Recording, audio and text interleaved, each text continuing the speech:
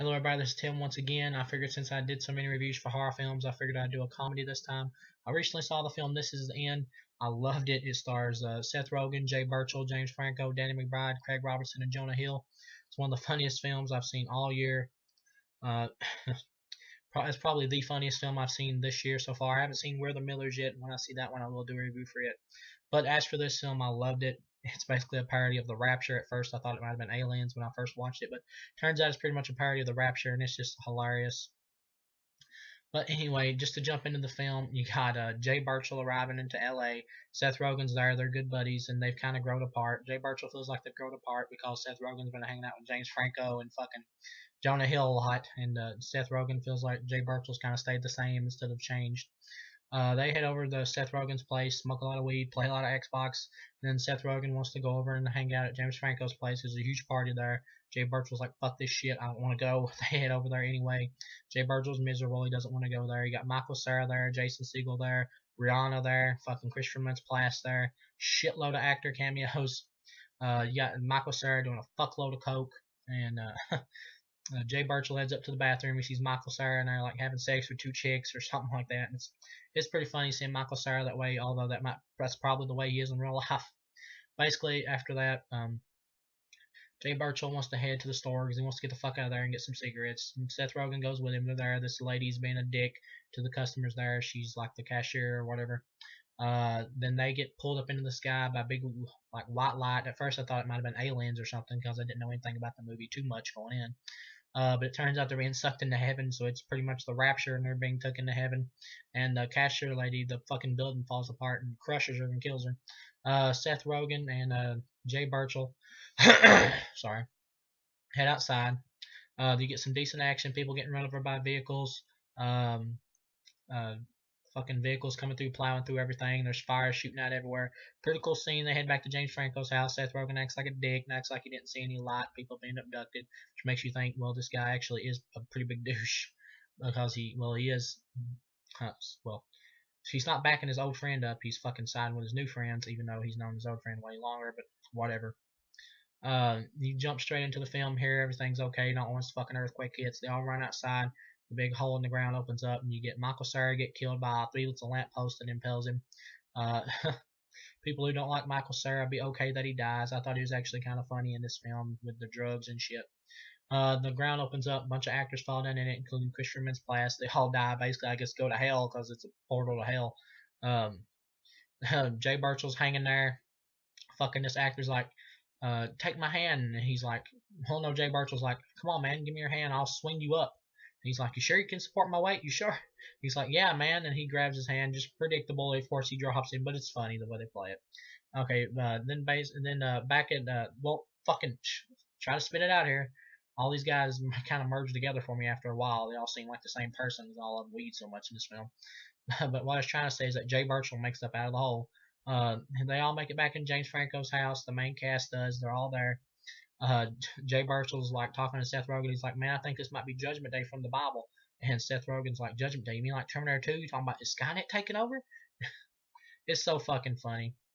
The only thing that really hurts this movie is too many arguments in the film. It kind of drags a little but For every overdone argument, there's funny ass shit that's funny as fuck that happens afterwards. Uh, basically, the next morning, Danny McBride, who slept through everything, wakes up, eats all their food, wastes all their water. Everybody wakes up next morning. James Franco's there, and he's like, "Guys, it's Danny. He made it. He's eating all the fucking food." It's so funny. He runs over there. They all try to stop him from eating everything, and Danny McBride's like, "Guys, chill out. I think the fucking Green Goblin can afford some more bacon." It's so funny. And all once this dude sticks his head in, he wants them to help him. And through the movie, Seth Rogen's talking about how he was titty fucked by a bunch of cops when he was arrested back in the day. And he has like a phobia of it. And James Franco's like, man, we don't want to let you in here. You might be a rapist or something. You might try to titty fuck us all. And that guy's like trying to get in. He's like, guys, I'll titty fuck all of you guys if you just let me in. it's pretty funny. And then all at once, his fuck, his body gets ripped apart and his fucking head falls down in there. And they all start kicking it like a soccer ball. Is all freaked out. And then Craig uh, Robertson puts fucking a blanket, I mean not a blanket, but a rug over top of it, and they just James Franco like pushes it out of the way. It's so funny. And then Danny McBride, they finally cue him in on what's going on. He finally believes it. Um, you look outside, you get some okay CGI, a little flimsy with uh, all of LA, lost, well, all of LA on fire. Uh, but the CGI in this film is good though. It isn't bad. It's used. I don't like CGI, but in here it's used for the right right right, right reasons. Fuck. I have trouble spitting that shit sometimes for some reason. Uh, it's used for the right reasons, and the characters in it that need it are are the ones that are CGI, which is good. Like the Minotaur and giant dragon demon, and Satan himself even makes an appearance in this fucker. And so they're all hiding out in the house, and they take what water they've got left. Um, Emma Watson shows up. Uh, Danny McBride's saying that he's such a huge Harry Potter fan, wants to ask her all these questions. And James Franco's like, "Cool it, Dumbledore." it's pretty funny. And fucking uh, Jay Baruchel's talking. We better not try to. We better not give off a rapey vibe, or at least try not to, because there's so many guys and she's just one chick, and we gotta make her feel safe. She overhears them, thinks they're gonna rape her. She comes out of there. She takes an axe and fucking hits Seth Rogen in the face with it. Well, with the stick in. Uh, she takes all their water, basically just fucks them over and takes all their shit and hits the road. So they have no water left. James Franco's making um, he's like recording everything that happens using the camera from 127 hours, the actual prop or whatever. Um, he keeps talking about what a dick Danny McBride is and how he hates that motherfucker, and it's so funny. And uh, okay, so they need some water, and there's uh only water they have left. The only water James Franco has is in his basement. All way to get to it is to go outside and go through the basement door that's connected to the house.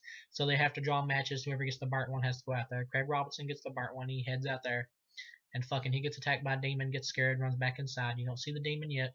Uh, he makes it back in there. Um, he's like, fuck that shit, I ain't going back out there. And they're all talking at night and shit like that. And Craig Robinson's like, you know, I think it might be Judgment Day. And uh, Jay Baruchel's like, yeah, duh, I thought I said that already. So Craig Robinson's like, well, what should we do? And he's like, well, Jay Baruchel says that we do better, try to better ourselves, that we'll get accepted into heaven too, basically. So um, then they, James Franco basically realizes all they gotta do is dig the fucking like hole through the ground, and they can get down there to the water. And so they spend like hours doing that. You get an overdrawn argument with James Franco and Danny McBride because James Franco hates him. Danny McBride like spermed all over his fucking porno mag that James Franco had. You get into an argument that lasts forever. But like I said, for overdone arguments in this film, or for every stupid scene, you get a hilarious fucking scene afterwards. And I'll just say again, I love this movie, and it's already. I'll just tell you, it's a four star film out of four. It's a great comedy.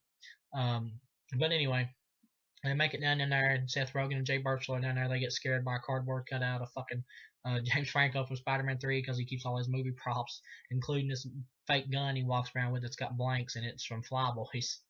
They get down there, they find the water, bring it back up. Danny McBride wastes all the fucking water again. He like pours that everywhere because he is mad because he wants more water than everybody else because he's basically a dick.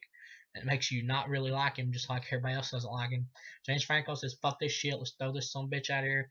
Um, he Danny McBride gives a big sob story like he he never gets invited to any of the parties, blah blah blah, shit like that. Um, James Franco feels sorry for him, and then he says, "Why don't you stay?" Danny McBride's like, "Fuck this shit, I'm gonna go. None of you guys want me here." He's James Franco says, "So if you're gonna go, take this weapon with you." And he takes the blank, the gun that shoots the blanks, the fake gun, and he fucking fires it and tries to shoot all them like a dick. And they said, "Well, fuck you, McBride, get out of here," basically. So he hits the road. Um, okay, so he hits the road.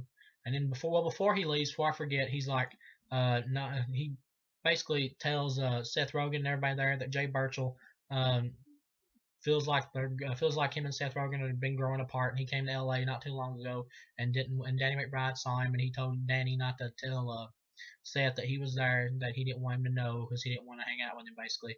And so Danny McBride leaves. Seth Rogen and him uh, start arguing. Jonah Hill comes over there. He acts overly nice in this film.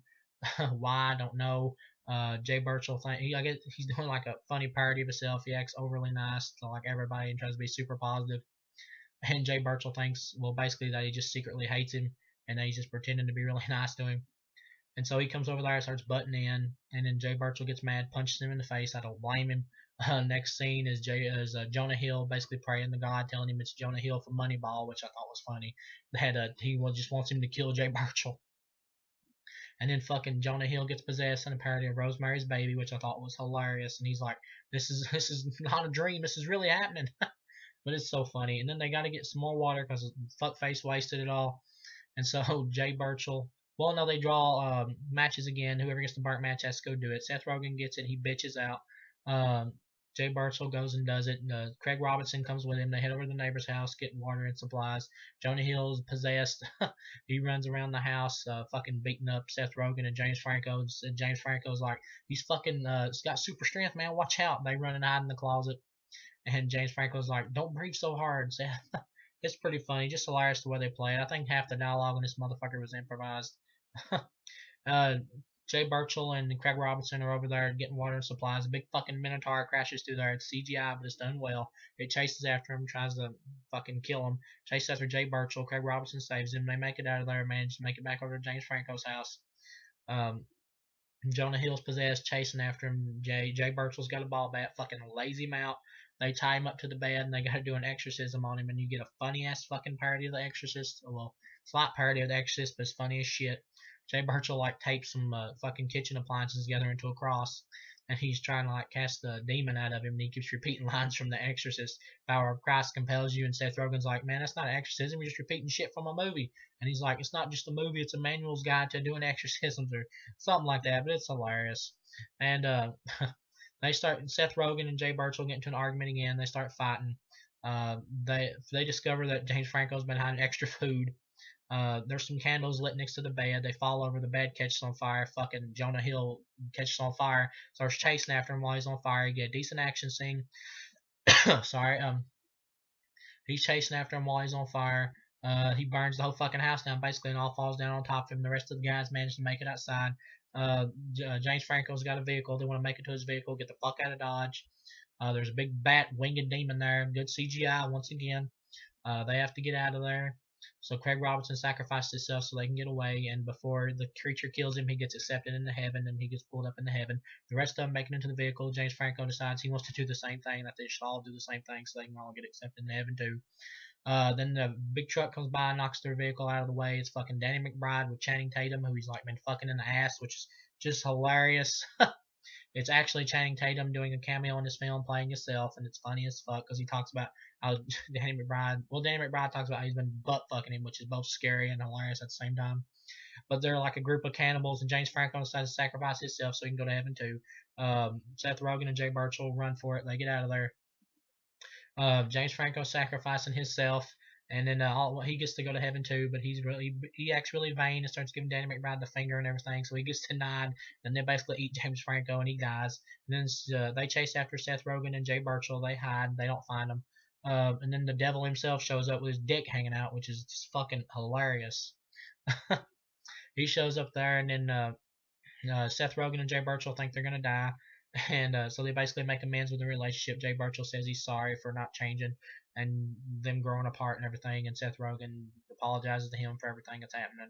They make amends, and then Jay Baruchel gets accepted into heaven, and he wants to take Seth Rogen with him. He grabs him, takes him up there, but they both can't go because Seth Rogen's not meant to go.